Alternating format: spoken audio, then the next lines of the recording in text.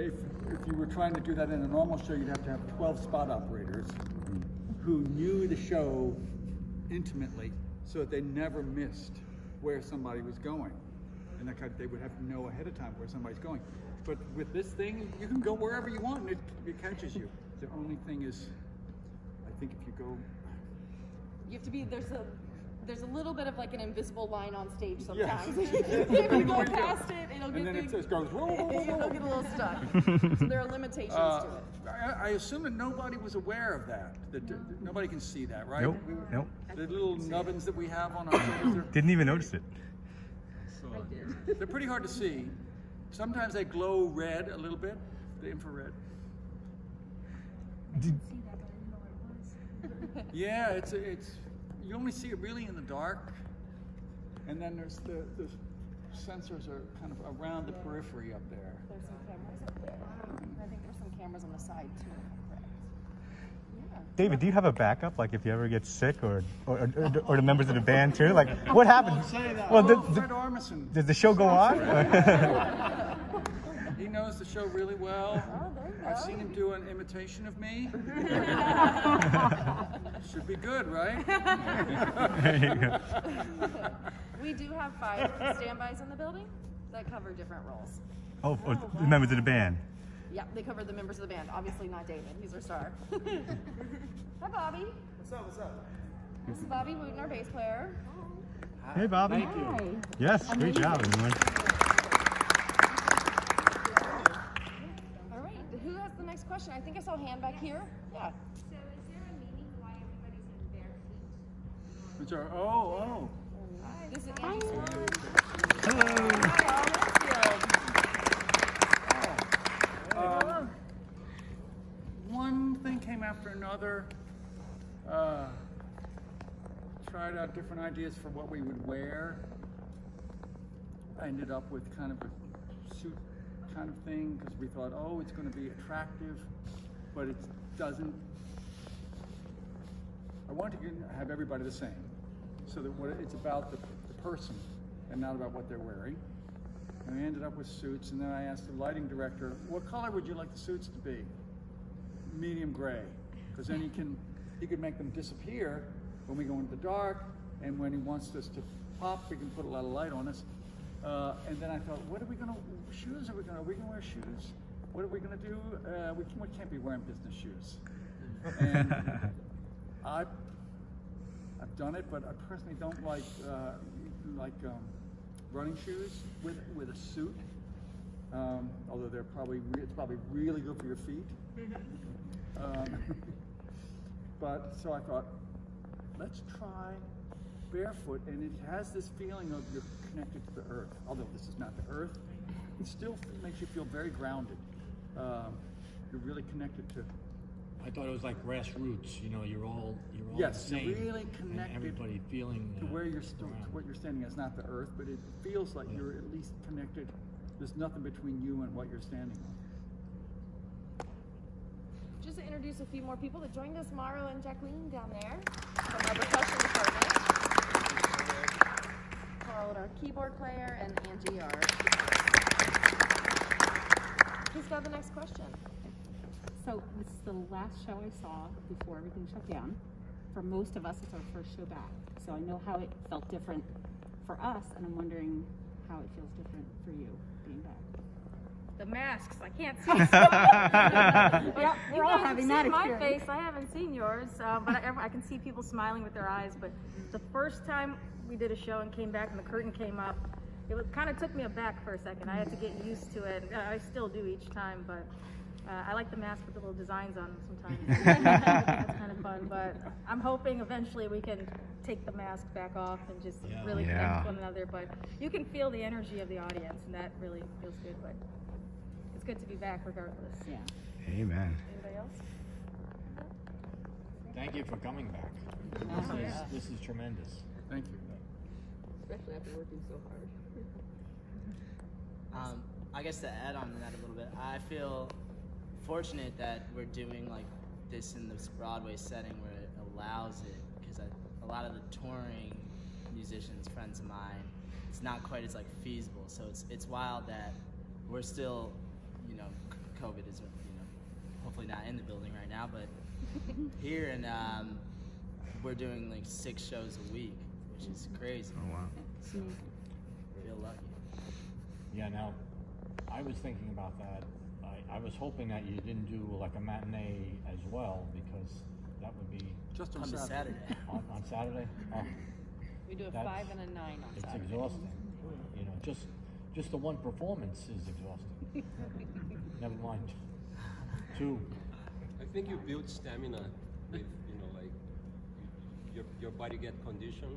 Right. So it's actually, instead of going to work out, you come here and play the show. Saturday's a marathon. Exactly, yes. Saturdays the marathon.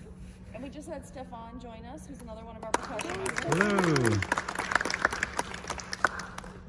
The choreography is all in group or is just you that you decide Oh how you no, no. It's a, most of it is from uh, Annie B. Parson, who is a choreographer I've worked with in the past. She has her own group called Big Dance, Big Dance Theater. Um, I think they have a show band coming up, and I'd worked with her a few times. She's she's amazing that she can work with trained dancers. Uh, um, Oh, there he is. Just in perfect Here's time. Here's one Chris, one of our dancers. Chris, There you go. and people, she can also work with people like us who don't strings, so we don't know all the stuff, but she can take us through. Can you try this? Try this? Try this? And she'll push us like, can you do this? Let me see you do this and play at the same time. Yeah, yes, sorry. And now do it and sing and play at the same time. Yeah. Yeah. And Chris, you choreographed Burning Down the House, right? I did indeed, yeah. Amazing. I was captain of my high school's color guard, and Annie B was like, "We need a marching band number. Can you just do it?" And I said, "Well, yes, I can." It's mentioned that you have a diverse group of people, right? From France, Canada, Brazil, and such. Do you get influence from their music to in, infuse it in the in the songs, or? is it- Wow. Well, I. Mauro. Uh, I, I think, yeah, it's ineve- in- inevitable. Okay.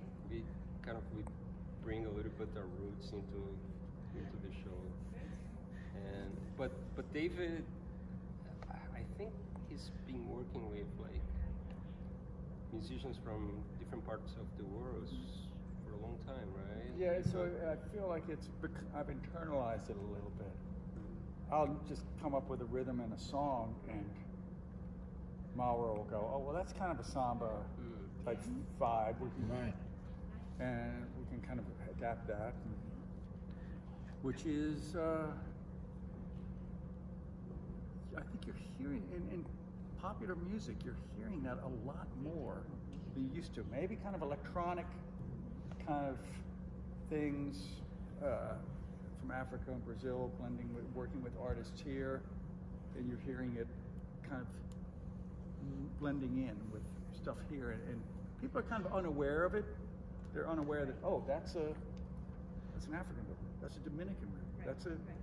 you know that's Brazilian. And the way I was asking is because I saw so many different instruments that it's not usual to see, right? Unless you are familiar with the other, so other type of music. So that's why I'm thinking, okay, yeah, there is some influence there. you. Yeah. And an- another thing, just to say to that too, like me being somebody that hasn't played much Brazilian music before, being around some of the greatest musicians that do it, um, but the communication that goes on in that music, where it's like multiple percussionists forming this one thing, and so when you get like six isolated drummers slash percussionists, I, I mean, I think a big part of why it works is because of the background of of them already kind of doing that and stuff. But it fits so well together, you know, when you, you have the, the different instruments all playing. And then the last piece to that fitting together is the Yeah. front of house sound guy. And when, when you Yeah. mentioned when you mentioned the like the question of is everybody playing live, and then then you demonstrated and everybody played a little bit, and then it all came together. So it's like yeah, absolutely. That was that was perfect. That was perfect. Someone told a story. I heard a story the other day a- Oh, uh, like a drummer friend of somebody's was listening, and was it you telling this? Guitarist friend. A guitarist friend. Had he close his eyes? Yeah, had to Yeah. close his eyes. It's a it's a great story. Yeah. He, he saw, he could see that what he would describe as the elements of a drum kit, like spreading all over the stage, and he just goes, I can't. My brain can't process this. it sounds like a drum kit. Right. So he would, but I can't. When I look at it, it's Yeah. like this disconnect. Like it can't be. It can't Yeah, be. yeah. So he would close his eyes. Yeah. Two more questions. Oh, okay. Great, and I just really fast want to introduce Gustavo, who just joined us. How much did you uh, tweak the show from the, the tour versus now, or how did it evolve from the tour to the show now? Somebody else. A lot. Yeah. I think that there was like, I mean, obviously, we're not in a like hundred thousand person musical festival where everyone is drinking and out to party, and we have a much more captive audience. Um, so David definitely wanted to take advantage of that, I think, and so yeah, we uh, wove this. He wove this little slight light narrative, one might say, not a quite a full narrative, but just these ideas. And honestly, for us, it was it was kind of intense to adjust. At first, we were like, "Wait, but we had everybody on their feet on the third song. Like, what? We have to tell We're wait. No, we're just they're just sitting there, and oh my god." Oh, so you were all on the tour too, and here you are on Broadway. every- every- Almost everyone. Almost everyone, yeah. Oh, but it was this incredible thing. I actually got to see the show a couple weeks ago for the first time. Um, and that was incredibly informative because I realized that the kind of silence in the audience, I mean, we're used to tour where people are, if you're not screaming, then we're not doing our job. Right. So, but this is a very different experience where if people aren't screaming, it's because they're listening. And this has been a really incredible experience to feel that, to be like, oh, actually, yeah, you're all listening the whole show, and then you get to jump up at the end and dance. It's Thank you, yeah. experience, But we love it. Yeah, it also allows me to do talking, which in a in a kind of uh, festival or concert thing, people would be like, "Shut up!" And start the band. We're here to hear music. We didn't come to hear to hear you talk. We did have headcount on the road though with most uh, most of our shows, so we Yeah, you did do the I did voting do- speech. Yeah, some Yep. of those I did the headcount talk. I think I did the Janelle Monae talk. Yes. Yep. Yeah.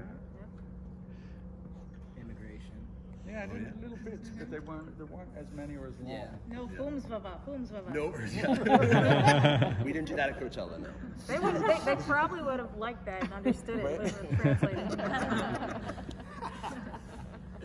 Fooms Vava, man, yeah. And you did reorder some of the songs too, right? Yeah, we um, Yeah. Naive was like way later. it was that was later. The Great Curve. Yes, there was. A, uh, We used to end the whole set with "Tell, Tell You." you? Yeah. Oh, okay. and- Do you have a favorite number in the show collectively? Should we just go down quickly? What's your favorite number in the show?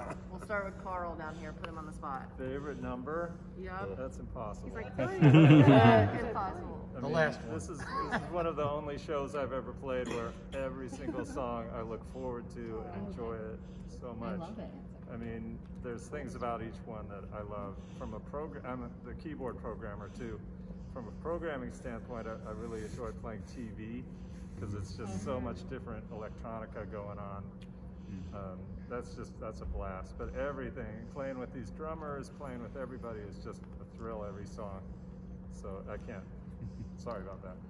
That's a great answer. I'd say dance, naive, because I got it tattooed on my arm, uh, and then sing singing "Slippery People." Absolutely. There you go. I've got once in a lifetime tattoo. Ah, wow. What else is that written? Into a donkey. No, I'm kidding. Okay, um, woo! December is my favorite to play. I'll just keep this quick because I know we're in a rush, but it's, I like the rhythm and just playing with the drums and just the, the contrast with the guitars talking to each other and uh, yeah, that's it. I like Road to Nowhere because it brings me so much joy. Just to hear it, to dance to it, to sing along with it, it just makes me happy. Some nights I like the, the well, the second one. Uh, it's called. I know sometimes a man is long wrong, because it just goes. It's like I'm talking, and then the next minute I'm singing, and it just seems like to almost seamlessly go from one into another, and I thought, oh, that's that's a nice vibe. If you can go from like talking about something, and suddenly you start to sing, and it seems to be a continuation of the same thought. And I thought, ah, I gotta remember how to try and do that. There's an Appalachian holler. yeah, yeah, to it. Um, I'll say blind has been a lot of fun lately. I think there's a lot of rhythm section activity that's going on. Uh, that's great, and also by the time we get to that point in the set, that's the song with the shadows. Um, the uh, the rest of the songs have kind of been like, it's like this, and that's a little bit more like there's a lot of fills and things going on, and, and drummers getting creative by opening up hi hat clamps of other of the other drummers and stuff to make it happen, which is cool. Uh, I I don't have like a favorite, you know, it's so hard to choose one, but every show I look forward to hearing David sing this line, skin that covers me from head to toe, except a couple of tiny holes. it always, I cannot laugh, but it always makes me like smile. Yeah, I, I love that line too. I'm, I'm with Karl. I think it's impossible to choose a favorite, but uh, I will with like little details. Like I just love Glass, Concrete, and Stone. I just love listening to the lyrics and um, um, you know I, I like TV because it's just like ga ga ga ga ga ga ga ga ga. Um, oh oh um, dance like this for the Betty Ball, and also just like our little our little little moment where we do a dance and people are like, what is happening? And they're like, oh, they're being funny. And then they start laughing one that I that really stands out is um, um oh no, I forgot it. No, I- Toe Jam, come on. Toe Jam, Toe Jam's just so fun. you know, you're like we're all dancing and everybody starts to get into it. So yeah, probably Toe, toe Jam. Well, same for me. I enjoy all the songs. Uh, they all have something that I always enjoy. I, I particularly enjoy the the very first song here. Um, I love the lyrics. It's the moment where I get ready, and um, uh, I sing along with it. And I get ready, and I only have one note to play. so it's always the most difficult when you only have one note. You know that the, the percussionist in the orchestra who has like all this paper with one note. you have to play it at the right time. And then uh, look at Bobby. We have a game with Bobby and Daniel. So judging me. He's giving me I notes. judge how good he does this time. stuff. it's the last note of the song. So there's a whole note. like Note on the finger system up to ten. I never. And Gustavo. Let me out. Ah, I like the whole show. I love the show since they began. So my I don't have the but I like what to be too. The attitude, you know, passion, the speech, David. That's it. Thank you guys so much for coming to see us. That's all we have time Thank you very much. Thank you. Thank you. Thank you for working overtime. Yes.